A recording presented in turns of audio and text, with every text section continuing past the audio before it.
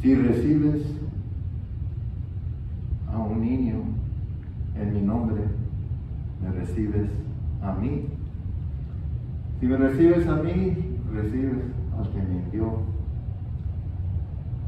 No todo el tiempo hemos recibido al niño, ¿verdad? Por ejemplo, en la Segunda Guerra Mundial murieron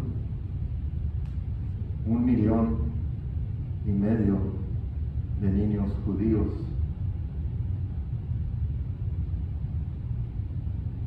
No recibimos al niño, ¿verdad?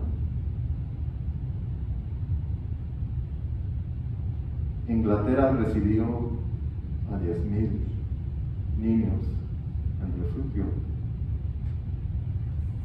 Los Estados Unidos recibieron a cero.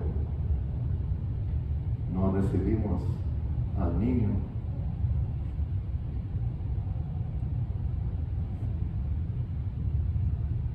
Uno en siete niños vive en la pobreza. Entonces a ellos les falta la educación, la salud.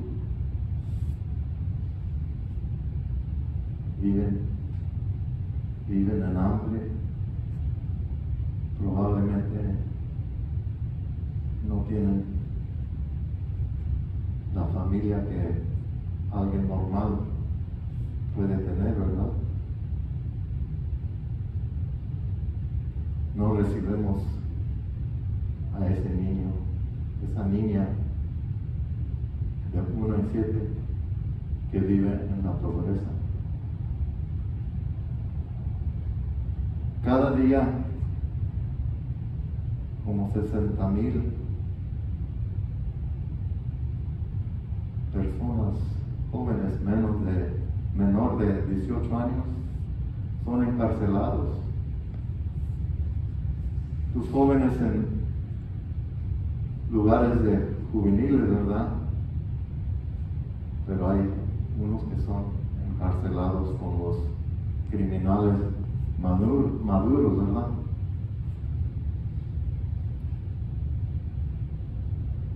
Entonces no, no recibimos al niño, como nos dice Cristo. Y Santiago nos dice que es el problema, ¿verdad? El problema es la envidia. Vivimos en envidia, en rivalidades.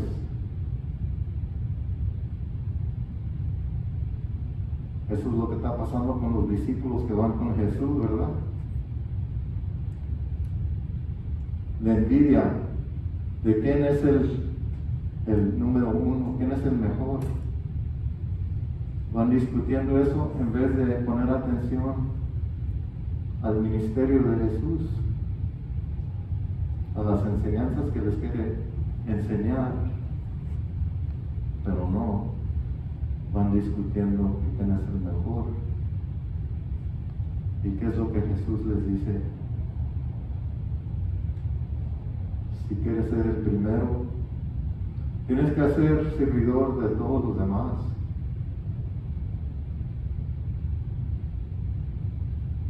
Tienes que ser el último,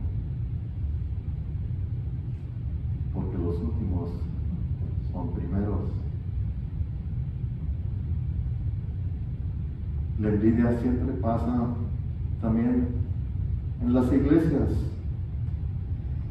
Sabemos que la gente, a ser parte del ministerio de la iglesia, los van a criticar, ¿verdad? Están en el altar porque se creen muy santos. En vez mira los mismos lectores, los mismos ministros ayudando en las misas. No es porque ellos quieren esa posición, sino es que los critican de la envidia, que no dejan a su prójimo ser un ministro de la iglesia, no que luego, lo juzgan, ¿verdad? ¿Se acuerdan de cuando Jesús fue a su pueblo de Nazaret? ¿Y qué dijeron los de su pueblo? ¿Que no es este el hijo del carpintero?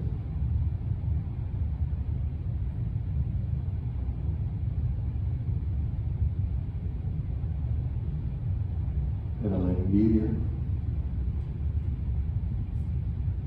que no dejaba a la gente ver el trabajo verdadero de, de Cristo Jesús, ¿verdad?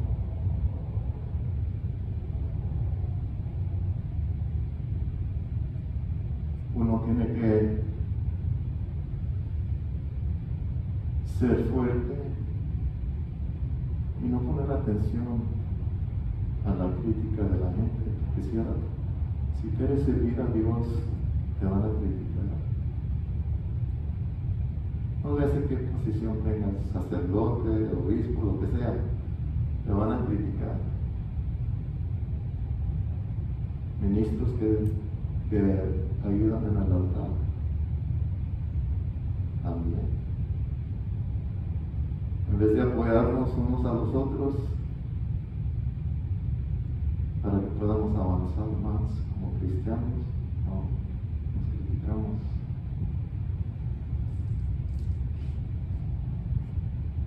Por eso Santiago dice hay que buscar la sabiduría de Dios para poder evitar esos problemas, esas guerras, esa desorden.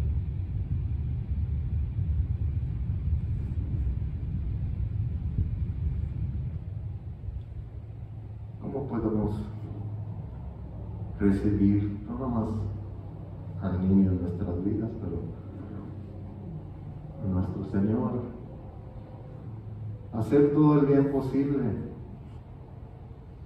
hacerlo de toda manera, de todo medio, de todo modo, en todo lugar, en toda hora. A todo pueblo y a toda oportunidad posible.